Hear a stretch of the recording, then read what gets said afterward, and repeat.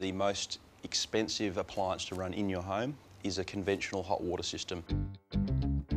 It generally consumes about 35% of the household running costs. So by going to a solar hot water heater, you will reduce your household running costs by anywhere up to 35%.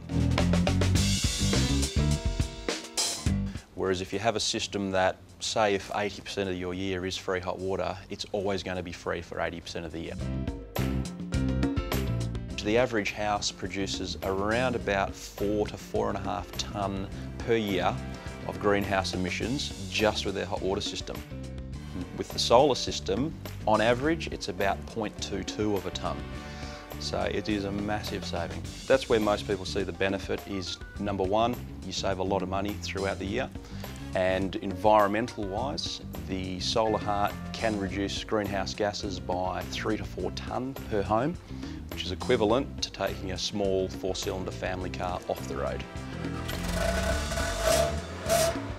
To go from something like a gas hot water system uh, to a solar system, your initial outlay, yes, it is greater. But if you look at what you will save per year, in some cases $300 per year, some cases $800 per year. If you take that into account, long term, uh, by far a better purchase than conventional water heating. With all these solar hot water systems, you do qualify for a government rebate. It can vary from state to state, so you would have to check with your local dealer to see what rebates apply and what they are worth installed, all set up on the roof, generally between three and a half to four and a half thousand dollars.